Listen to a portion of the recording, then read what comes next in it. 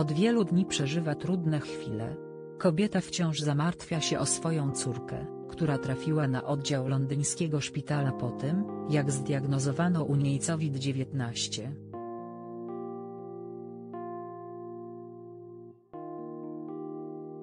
Dziewczynka obecnie walczy o życie. Każdego dnia czeka na telefon z informacją o stanie zdrowia swojej córki.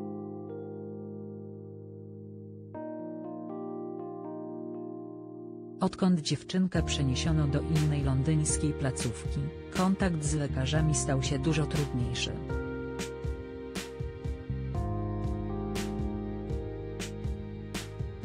Ze względu na zamknięte granice polska piosenkarka rockowa nie może odwiedzić Oliwy Wielkiej Brytanii.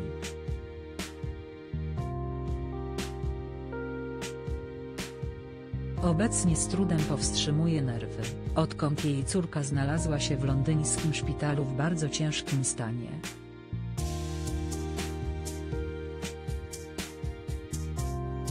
Córka gwiazdy została jakiś czas temu podłączona do maszyny, która za nią oddychała.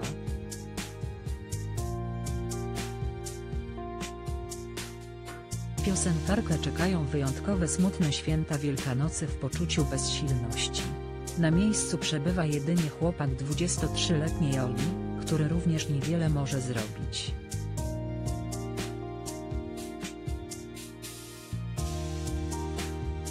Dostrzeżona przez sąsiadów Super Express niedawno opublikował niepokojące doniesienia, według których w obecnym czasie bardzo cierpi.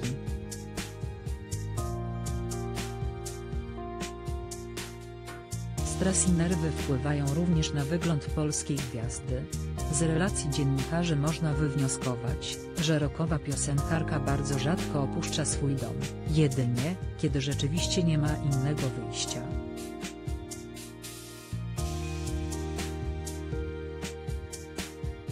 Prawdopodobnie czeka na telefon z dobrą nowiną o stanie zdrowia jej 23-letniej córki.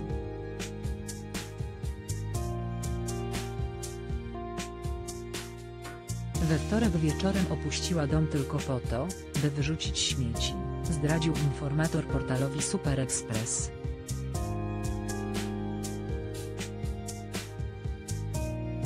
Niedawno zwróciła się do swoich fanów, dziękując im za wsparcie oraz słowa otuchy.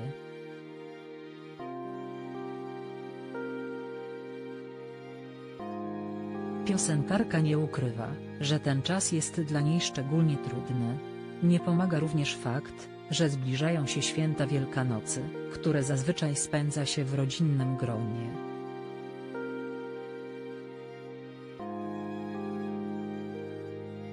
Mimo ciężkiej sytuacji, próbuje jednak zmagać się z rzeczywistością i opiekować się swoim młodszym synem.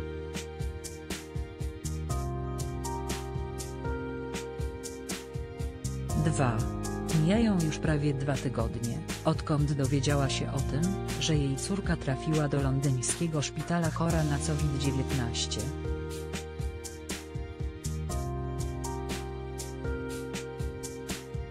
W trakcie hospitalizacji lekarze musieli intubować dziewczynę. Teraz cała rodzina oraz fani piosenkarki czekają, aż jej stan zdrowia ulegnie poprawie.